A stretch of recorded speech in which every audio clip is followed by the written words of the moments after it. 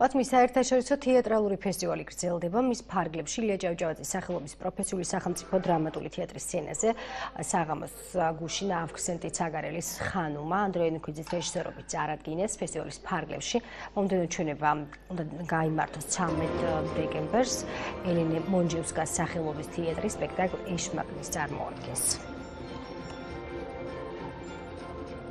ძალიან სენსული რამე გაკეთდა თქვა აჭარის რეგიონალური თეატრების ამდენად ქართული სათეატრო ოჯახის თქვა რეკლამირებაში, ევროპაში გასვლაში, ინტეგრირებაში, იმაში, რასაც ქვია სოფლიო თეატრალური სივრცე.